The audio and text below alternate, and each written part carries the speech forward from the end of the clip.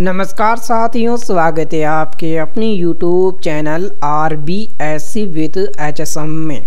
महर्षि दयानंद सरस्वती विश्वविद्यालय अजमेर के द्वारा पीएचडी एडमिशन के लिए research eligibility test R E T दो हज़ार बाईस के लिए विस्तृत नोटिफिकेशन एवं ऑनलाइन आवेदन के संदर्भ में विस्तृत दिशा निर्देश जारी कर दिए गए हैं। इस वीडियो के माध्यम से हम नोटिफिकेशंस ऑर्डिनेंस एवं ऑनलाइन आवेदन के मार्गदर्शन के संदर्भ में विस्तार पूर्वक चर्चा इस वीडियो में करेंगे तथा सभी पहलुओं को बारीकी से समझने का प्रयास करेंगे। सबसे पहले हमें लॉगिन होना होगा महर्षि दयानंद सरस्वती विश्वविद्यालय अजमेर की ऑफिशियल वेबसाइट पर। इस वेबसाइट का लिंक वीडियो के डिस्क्रिप्शन बॉक्स में भी उपलब्ध करा दिया गया है। जैसे ही वेबसाइट पर लॉगिन होंगे, हमें इस प्रकार का इंटरफेस दिखाई देगा।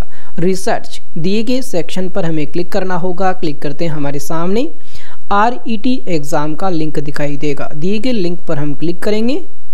क्लिक करते हैं हमारे सामने टी एग्ज़ाम पोर्टल 2022 का लिंक दिखाई देगा।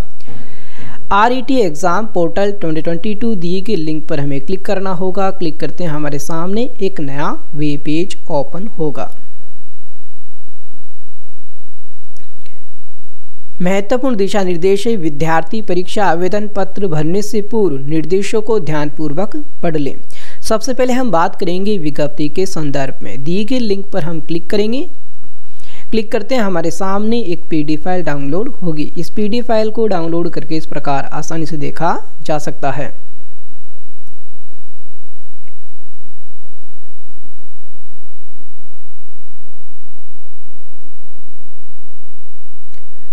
Research eligibility test R E T twenty twenty two research programme for PhD degree ordinance one two four आवेदन की प्रक्रिया 12 फरवरी 2022 से प्रारंभ होगी। अंतिम तिथि है 26 फरवरी 2022 एग्जामिनेशन की अगर हम बात करें तो संभावित एग्ज़ाम 26 मार्च 2022 को होगा।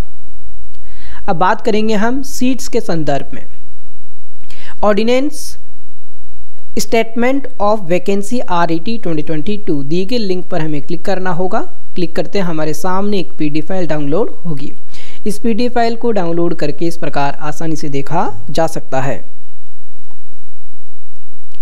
ए बी एस टी की नौ सीट है। बिज़नेस एडमिनिस्ट्रेशन की तीन सीट है। बोटनी की 18 सीट है। केमिस्ट्री की 39 है। कंप्यूटर साइंस की सिक्सटीन कंप्यूटर साइंस सिक्सटीन है इन्वायरमेंटल साइंस की तीन सीट है फ़ूड एंड न्यूट्रिशन की सात है मैथमेटिक्स की ट्वेंटी वन है माइक्रोबायोलॉजी की सिक्स है फिजिक्स की चार है जियोलॉजी की चार सीट हैं, इसी तरह से जूलॉजी की तिरपन सीट हैं इकोनॉमिक्स की ट्वेल्व जियोग्राफी की थर्टी फोर हिस्ट्री की थर्टीन पॉलिटिकल साइंस की सिक्सटीन पब्लिक एडमिनिस्ट्रेशन की थर्टीन इंग्लिश की फोर एजुकेशन की फोर हिंदी की ट्वेल्व संस्कृत की तीन सीट हैं, उर्दू की तीन सीट हैं, इसी तरह से ड्राइंग एंड पेंटिंग की एक सोशलॉजी की आठ फिलोसॉफी की छः और म्यूज़िक की चार सीटें निर्धारित की गई हैं। इसी तरह से 26 सब्जेक्ट के लिए आर ई टी ट्वेंटी का आयोजन किया जाएगा। अब बात करेंगे हम ऑर्डिनेंस के संदर्भ में। Ordinance for R E T twenty दी गई लिंक पर हम क्लिक करेंगे। क्लिक करते हैं, हमारे सामने एक पी फ़ाइल डाउनलोड होगी। इस पी फ़ाइल को डाउनलोड करके इस प्रकार आसानी से देखा जा सकता है। मेन पॉइंट जो यहाँ रखा गया है एग्जामिनेशन के संदर्भ में, इसके बारे में हम चर्चा यहाँ करेंगे।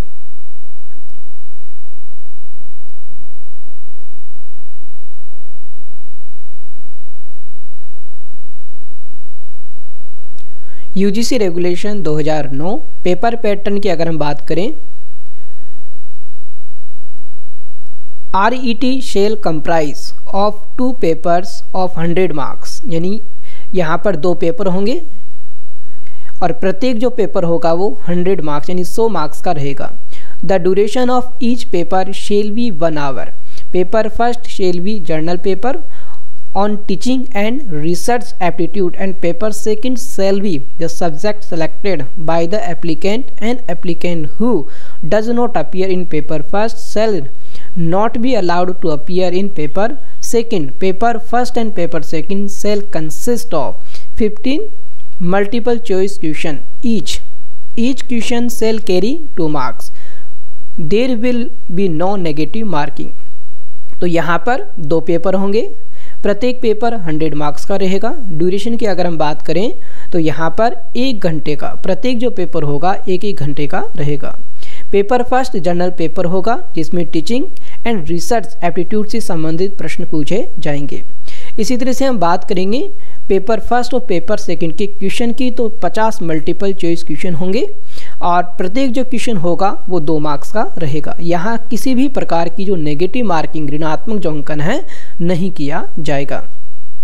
The questions for paper first and paper second will be based on the syllabus of National Eligibility Test NET of UGC CSIR in a particular subject selected by applicant and may be revised from time to time on recommendation of the academic council तो ये स्पष्ट किया गया है कि paper first और paper second का जो सिलेबस होगा नेट यूजीसी सीएसआर नेट चाहो यूजीसी हो चाहे सीएसआर नेट हो उनका जो पेपर जो पैटर्न है वही पैटर्न यहाँ पर भी लागू होगा तो इसके संदर्भ में हमें विशेष ध्यान रखना है प्रीवियस ईयर के नेट और सी एस आर नेट या यू जी सी नेट के जो पेपर्स हैं, उनका आप अवलोकन अवश्य करें। इसी तरह से राजस्थान यूनिवर्सिटी ने वर्तमान में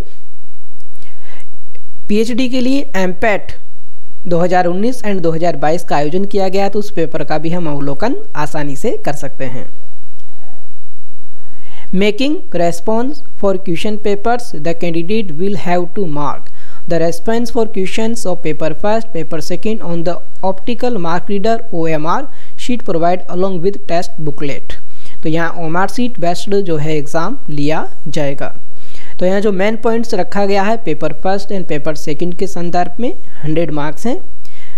Paper first 50 multiple choice question paper second 50 multiple choice question प्रति क्वेश्चन टू मार्क्स का रहेगा नेगेटिव मार्किंग नहीं रहेगी। सिलेबस की बात करें तो CSR और यूजीसी नेट का जो सिलेबस है, वही सिलेबस यहाँ पर लागू होगा।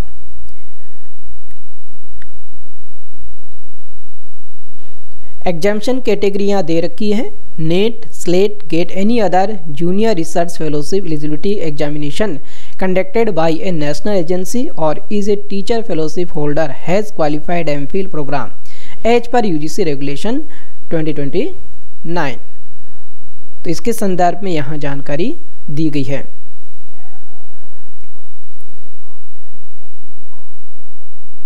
तो इसका अवलोकन हम यहाँ आसानी से कर सकते हैं। एमएससी के अंदर 50 परसेंट एस सी जो रिज़र्व रिजर्वेशन कैटेगरी है और अदर जो कैटेगरी है जिसमें जर्नल है, उनमें 55 परसेंट एम यानी मास्टर जो डिग्री होनी चाहिए। इसमें आवेदन कर सकते हैं।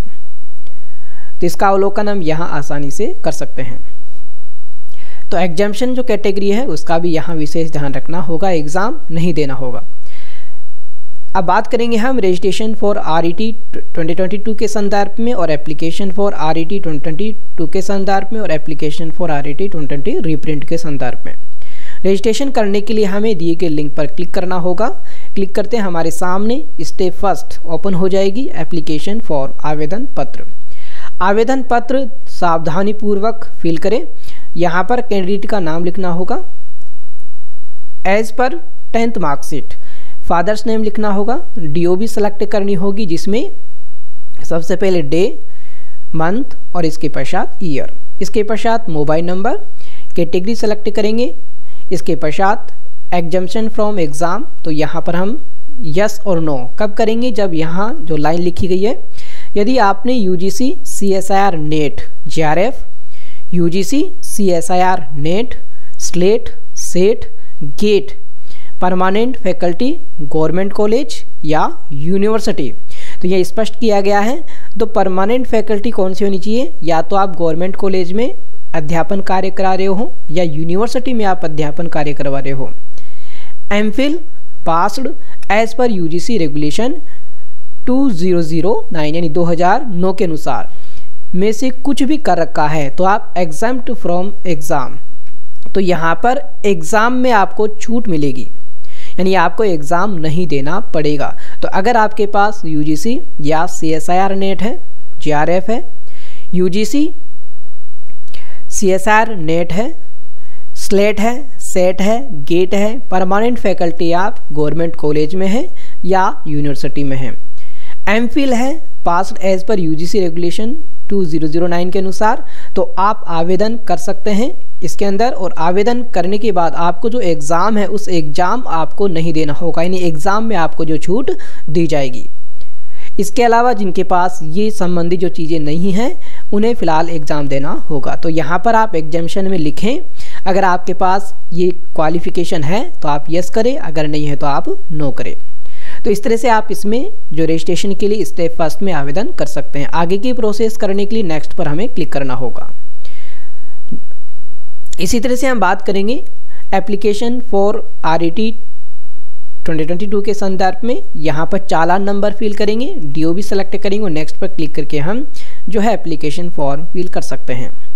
इसी तरह से रीप्रिंट एप्लीकेशन फॉर्म का हम रीप्रिंट ले सकते हैं। यहाँ पर हमें चालान नंबर फिल करना होगा मदर नेम फिल करना होगा, जन्मतिथि सेलेक्ट करनी होगी प्रोसीड पर क्लिक करके हम रीप्रिंट आसानी से ले सकते हैं। बाई जर्नल डिटेल के माध्यम से भी हम जो एप्लीकेशन फॉर्म का प्रिंट आसानी से ले सकेंगे। आवेदन किस प्रकार करना है, इसके संदर्भ में अलग से हम एक महत्वपूर्ण वीडियो जल्दी ही लेकर आने वाले हैं। तो आशा करूँगा कि जानकारी आप लोगों के लिए काफ़ी उपयोगी एवं महत्वपूर्ण रहेगी।